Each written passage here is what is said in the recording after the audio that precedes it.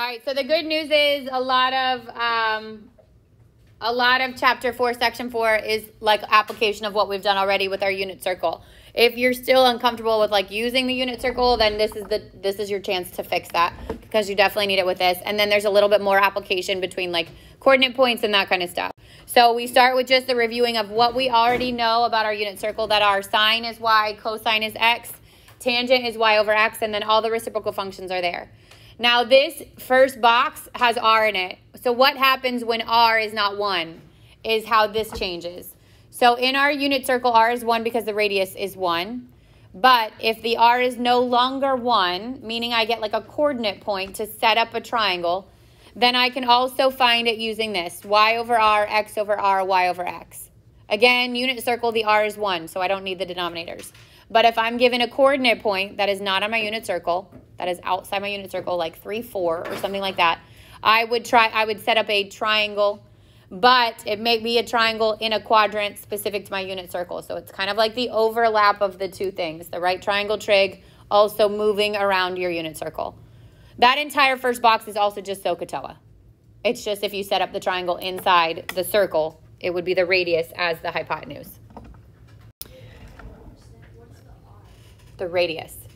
Yeah, so it so I'll show, I'm over and draw it out, but yeah, that would be as if I was moving around the circle. That's my paper clip. Okay, this we know, right? This is our degree measurement. So it goes from 0 to 360 all the way around. In degrees, if it was um, negative, it's going to go the other direction. It goes clockwise. And then our, um, our radians are on there as well. At this point, you should be able to get given an angle and you should be able to tell me what quadrant it's in. Yeah. All right, so again, at this point, I should be able to tell you an angle and you should be able to locate it, either by just knowing what it looks like or by doing our tricks of like, is it even, odd, is it a half or bigger than a half, that kind of thing.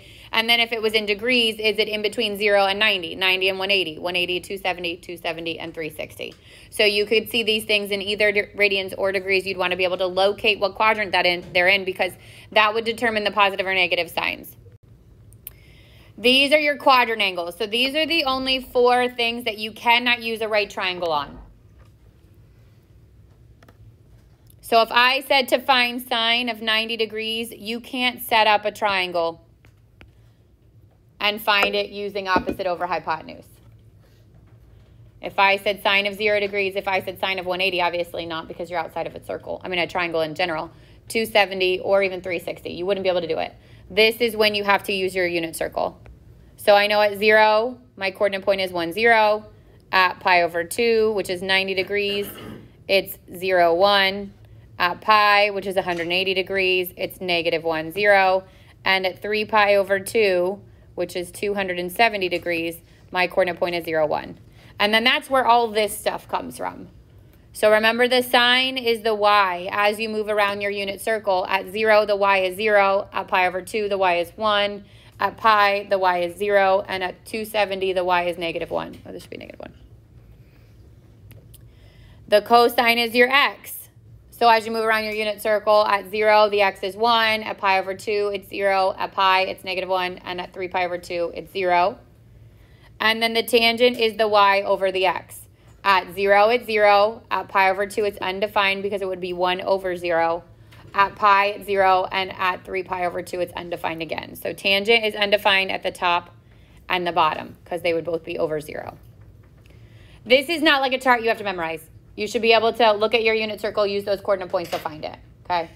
So there's no, there's no need to memorize it, it's just the application of it. You can use triangles. So something like this that says determine the exact values of the six trig functions of each angle theta. Now, how do I know the difference between my unit circle values and these is that 4, 3 is too big to be in my unit circle, right? The biggest value on my unit circle is 1 as you're moving all the way around. So as soon as you bypass that, we're not talking about 30, 60, 90, or 45, 45, 90 triangles. We're just using our unit circle, meaning a circle, circular shape, to set up my actual triangles. So if this coordinate point here is 4, 3, that means I moved to the right 4 and I moved up 3. Theta is in this corner here. So if I wanted to find all six trig functions, I'd have to complete that triangle. How do I complete that triangle?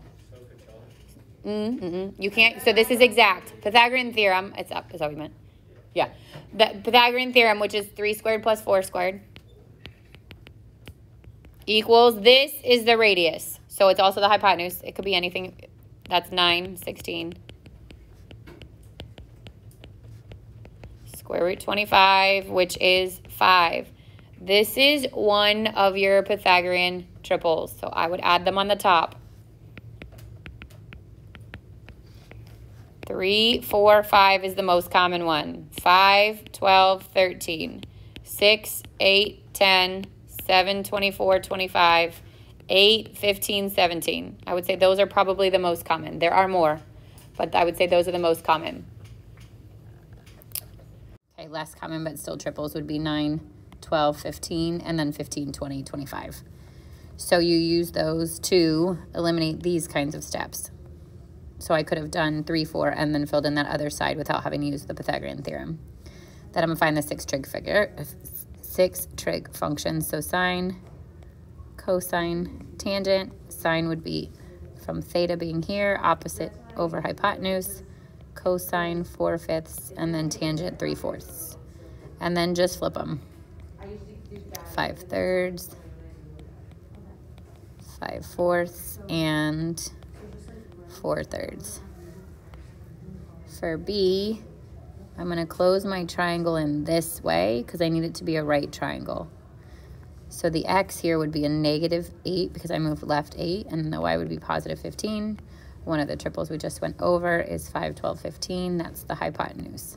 So even though theta is out here, it can also go in here to set up the ratios. You want to make sure you set up that right triangle that way. So now sine 15 over 17, cosine negative 8 over 17 tangent 15 over negative 8 and then we flip them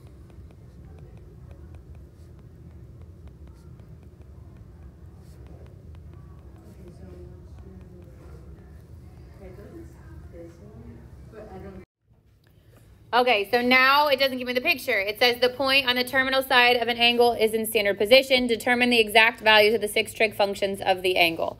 So if I have negative 4, 7, and I were to draw this on a coordinate grid, the negative 4 would move me left.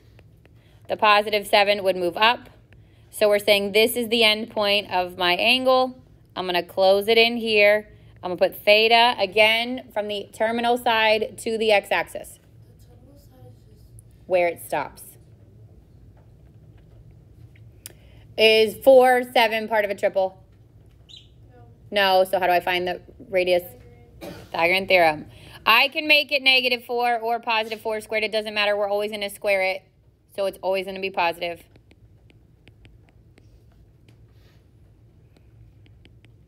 So C would equal the square root of 65, which breaks down to 5 and 13. Doesn't break down any further. So I keep it as square root 65. Again, radius or hypotenuse is always positive. So then here comes my six trig functions. Sine, cosine, tangent, cosecant, secant, cotangent. Sine is opposite over hypotenuse, 7 over square root 65, and we rationalize every time. 7 square root 65 over 65. Cosine is negative 4 over square root 65, and we rationalize negative 4 square root 65 over 65. Tangent is 7 over negative 4. That negative could be in the front, it could be in the top, it could be on the bottom. It doesn't matter as long as it's one of those places.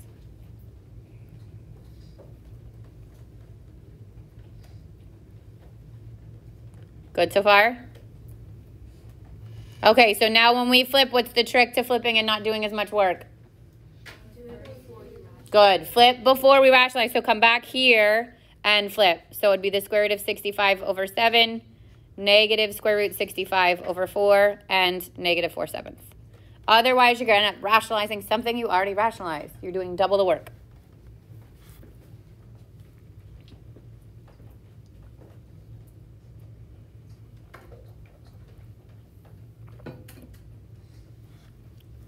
Questions on that one?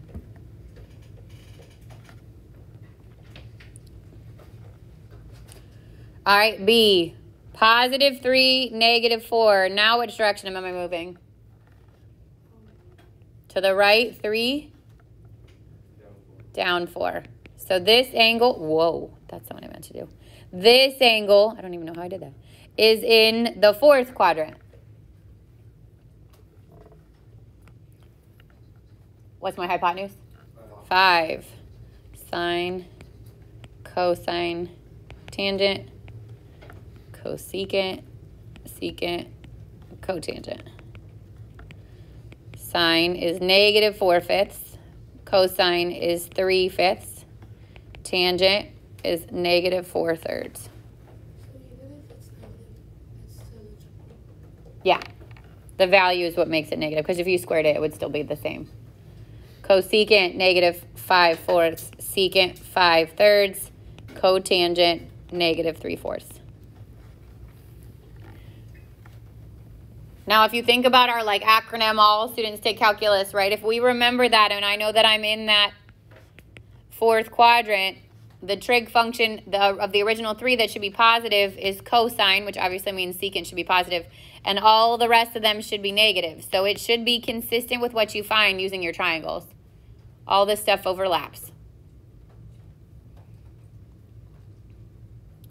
Good so far. Okay, this is what we just talked about. So all students take calculus. They also say all snakes, tease, chickens, and a smart trig class. I don't care. Remember the acronyms. I don't care how you remember them. That just helps you as you go around your unit circle. So we did this already. This is when the book brings it is, but we did this already. Yeah, or that one. All right, name the quadrant in which theta lies if cotangent is greater than zero and or and sorry, sine is less than zero. So if you think about your quadrants, right, and all students take calculus. Start with the first one. For cotangent to be greater than zero, what does greater than zero mean? Positive. So where is tangent, because that's the original one, where is tangent positive? Quadrant one and quadrant three. Then I go to the second part, which says sine is less than zero, which means sine is negative. Where is sine negative? 3 and 4, right? Because this is an and statement, we're looking for where they overlap, which would be quadrant 3.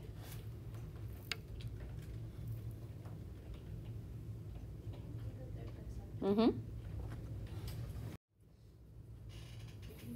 Mm-hmm. Okay, so this one says, given that the cotangent of theta is negative 4 thirds and the sine is greater than 0, find the following. So the first thing I want to look at is that it says the cotangent of theta is negative 4 thirds. So what sides are those if it's cotangent? It's adjacent over opposite, right? But this is negative 4 thirds. Is this a negative 4 over a positive 3? Is this a 4 over a negative 3? How do I know where that sign goes? That's the second part. Good. So I have to figure out where would cotangent be negative and sine would be positive. So where's cotangent negative? Start there. Second and fourth, right? Cotangent would be the same as tangent, so they would be negative in those two quadrants. Where would sine be greater than zero? Second quadrant. So I know I have to be in the second quadrant. That's what that piece of information is telling me. So now when I do the four thirds, I know this is adjacent and this is opposite. That means I'm moving this way, right? And I'm moving this way. Which of those parts is going to get the negative? The negative 4 and a positive 3. Sure. So theta is here.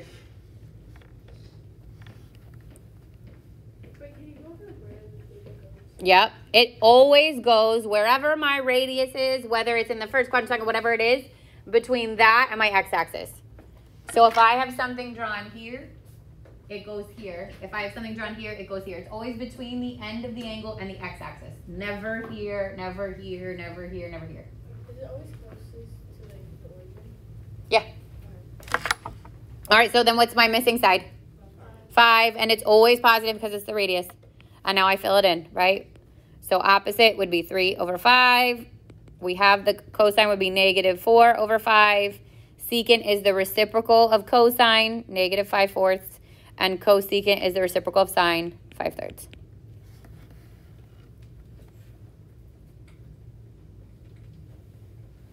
So if there's a negative involved, right, even if there's not a negative involved, now we're moving around our circle because that could be, if it was positive, they could both be positive or they could both be negative. There will always be one other piece of information that tells you where that quadrant is.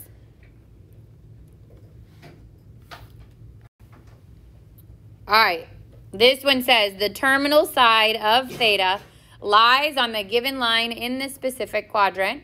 Find the values of the six trig functions of theta by finding a point on the line. So I have the graph of a line that is y equals 3x. How do I graph this line? Start at the origin. And then my slope is? Good. 3 over 1. 1, 2, 3 over 1. So here's my line. I'm going to put theta in the first quadrant.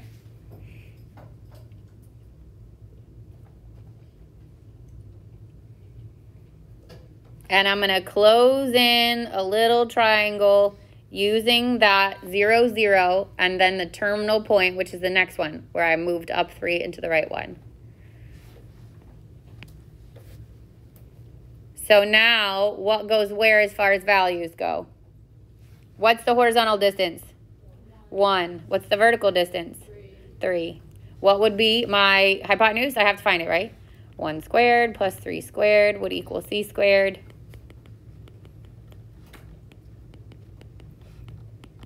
Square root of 10. So now if I want to find the six trig functions, sine, opposite over hypotenuse, rationalize it, cosine adjacent over hypotenuse, rationalize it, tangent opposite over adjacent, which is just 3.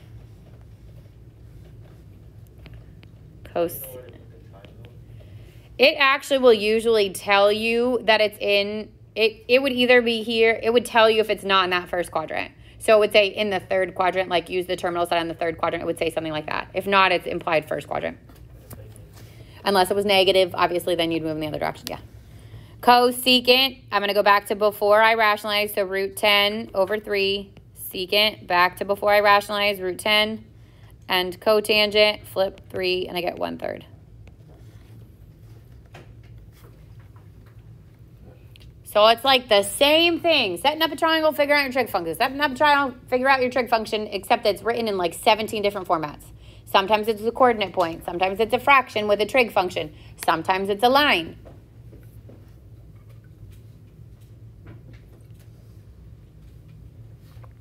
Questions on that one?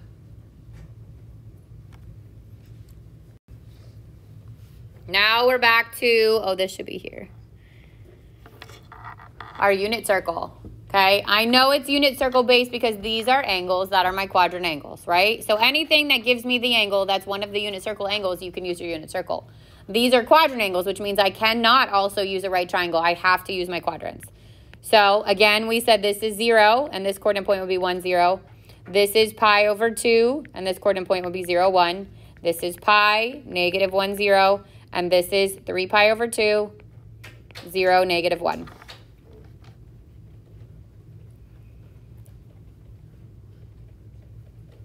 Sine is which coordinate? The y. So what's the y at pi? 0. Cotangent is what ratio? X over Y. x over y. So the x at 3 pi over 2 is 0. Okay, so 0 over negative 1 is what? 0. Good. Good? All right, here's reference angles. So the reference angle of theta is the acute angle theta prime. This little apostrophe is read as prime. Formed by the terminal side of theta and the horizontal axis. So we've been drawing reference angles this whole time. We just didn't give them a name yet. To find the reference angle, we find the difference between the angle and the x-axis.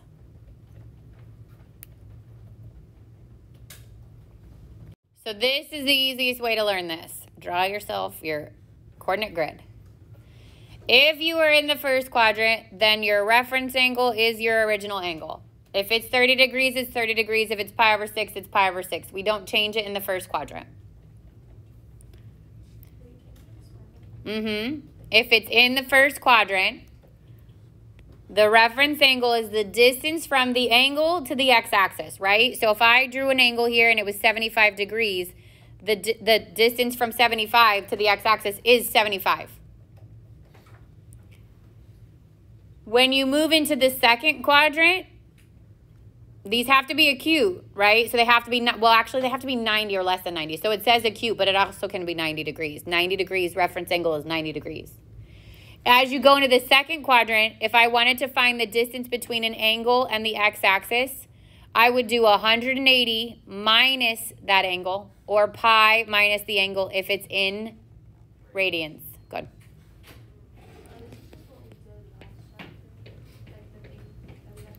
No, we haven't done this yet. Oh, that was mine. Yeah, yeah, yeah. That was your thing in complement. Sure. In the third quadrant, it is the reverse. Theta minus 180 or theta minus pi.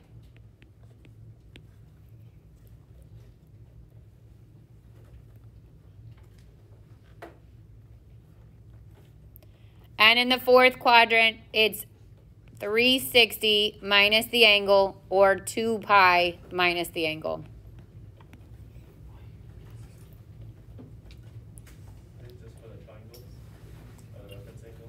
This is for the reference angle, and then we're going to find trig functions of reference angles. Yeah. Or it gives you an angle and it asks for the reference angle.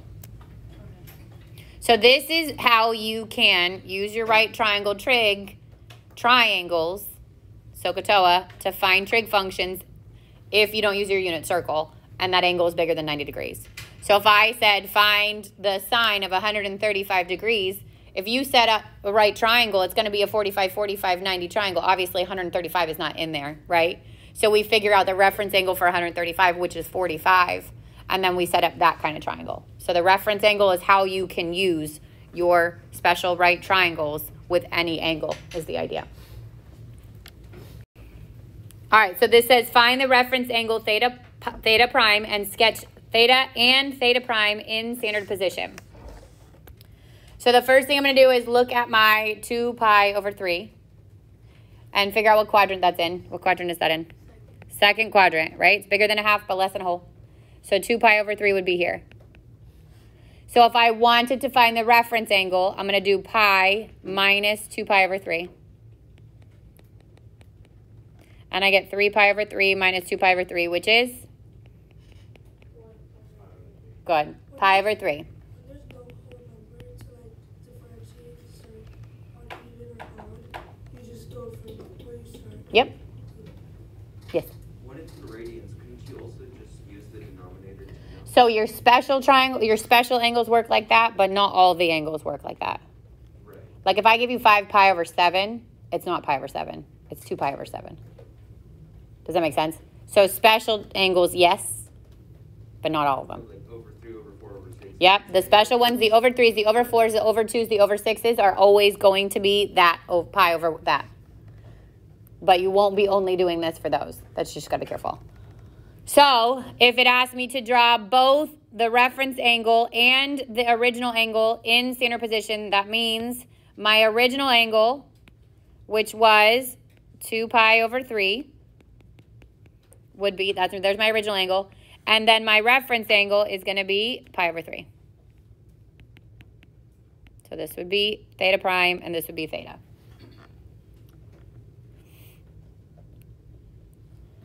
Then I go to 9 pi over 2. This is not on my traditional unit circle because 9 over 2 is what? In mixed number form. Above, above one, why is it even, or thirty? You have to change it. What is 9 divided by 2 in mixed number form? Four, and 1 half pi, or 4 and pi over 2. So the even tells me I'm going all the way around here. So I could go all the way around. That's 2 pi. That's 4 pi. Half pi puts it at the top. So this would be my original angle. The reference angle is what? Just pi over 2. So the rule on angles is if it's a special angle, if it's over 2, if it's over 3, if it's over 4, if it's over 6, then your reference angle is pi over whatever denominator you started with. That does not apply to all denominators though, so be careful.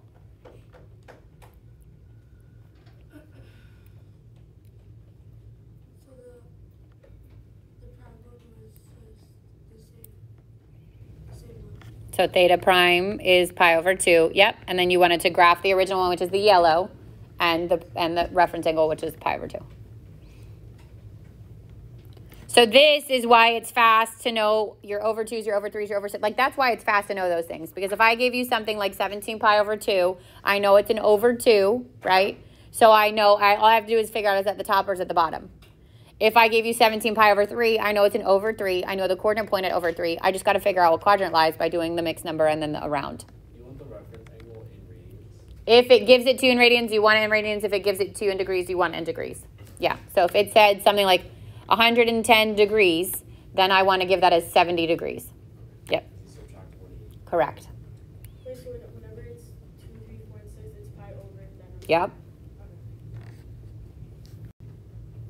All right, so this one says find the sine, cosine, and tangent of the angle without the calculator. You already know how to do these because I taught you how to do them the first time around without this. But now this is like when the book would have brought it in.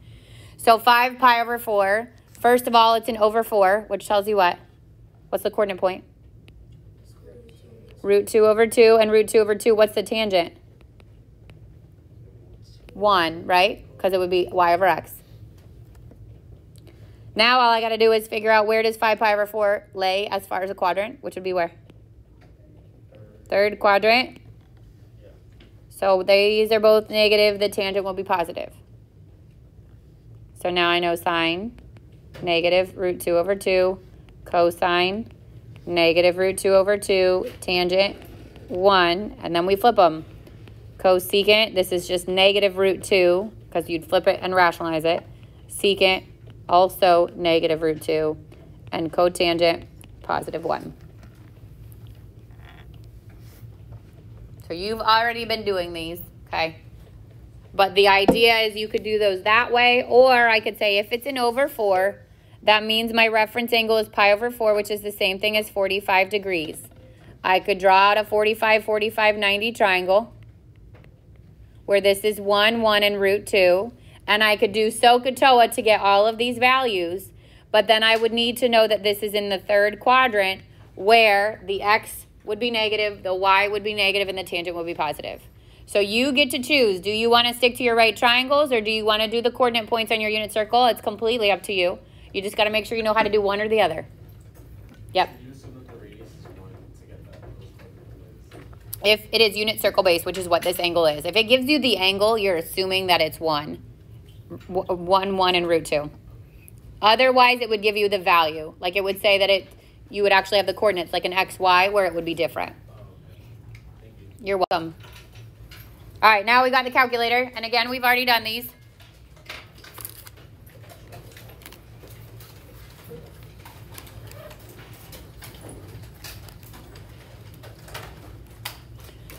I would check my mode because the first one has to be in what? Radians. And that would be 1 over the tangent of 4.3. I know it's in radians because it doesn't have a degree symbol. 1 divided by tangent 4.3, and you'd get 0.4375. And then for the second one, I'd have to change my mode back to degrees, and it's 1 divided by the cosine of 213. Negative 1.1924. And I will warn you that on the quiz, those were all or nothing. So you had to be really careful. They were five points, but it was either like you got it or you didn't. And sadly, people put the wrong mode. Okay, this is actually baby stepping our way into what is 4 7, which is the inverse trig function. This says find two solutions of each equation and give your answer in degrees and in radians. Don't use a calculator, which means we're going to use our unit circle. So I'm going to pull it in because I think it's easier to see it when you've got it in front of you. Okay, so what this says is if sine of theta is 1 half, give me the options that would be theta. So it's basically saying give me the angle in which my sine is 1 half.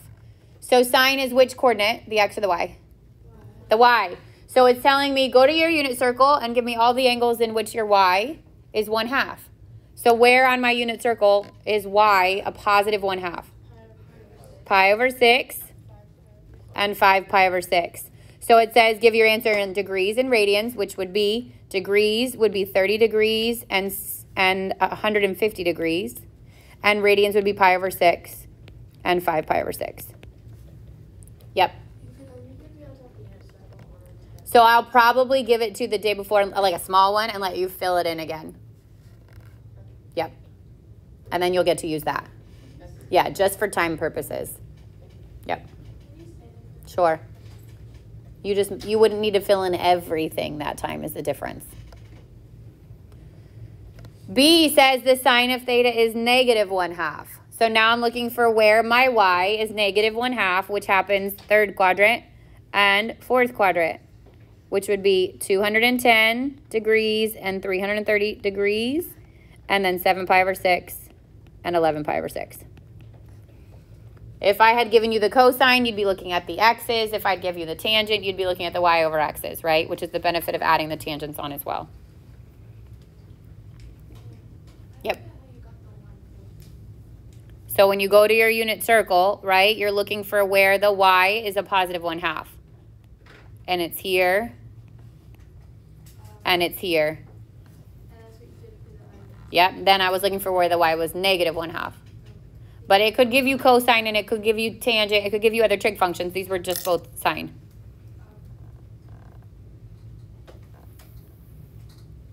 Questions on that one? Yeah. These will be on the unit circle. Yep. Otherwise, you'd have to have a calculator. All right, last question says the displacement from equilibrium of an oscillating weight suspended by a spring is given by y of t equals 2 sine 6t, where y is the displacement in centimeters and t is the time in seconds. Find the displacement when a, t is 0, b, t is 1 fourth, and c, t is 1 half. You already had one of these in the homework, if you remember it.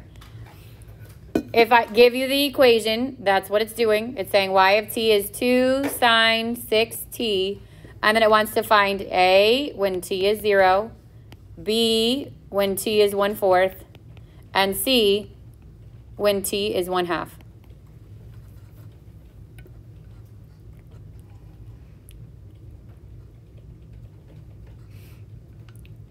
So if you look at the first one, if I plug it in, I get 2 sine of 6 times 0. What's 6 times 0? 0. Do we know sine at 0?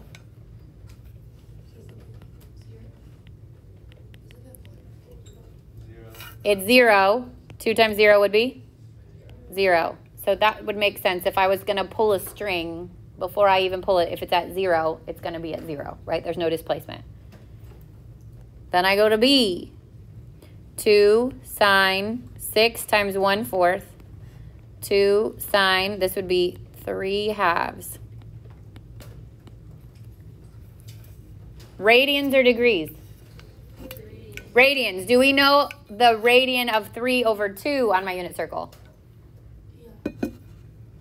Why not? What's wrong with it? Pi is not there. This is not a unit circle based angle. You would have a calculator for a question like this. Understand the difference? So 0, pi over 3, pi over 6, anything like those you could do without a calculator like A. But something like this that is not a unit circle based angle. I know it's in radians because there's no degree symbol in my initial equation and it didn't, maybe it would even say it if it was in degrees and it wasn't in my original. This did neither. So then I just literally make sure my mode is in radians and I do 2 sine 3 divided by 2 and I get 1.99498. So if it said to round to the nearest fourth place, which it didn't, it would bump 1.9950 would be the displacement. If it said round to the nearest tenth, it'd be 2. And then the last one, 2 sine of 6 times a half is 2 sine 3. Again, there's no pi there. If there was a pi, this would be unit circle base. There's not. So I literally do 2 times the sine of 3, and I get 0.2822. Trying to think if, I think it tells you what to round to on WebAssign. I'm going to check it right now.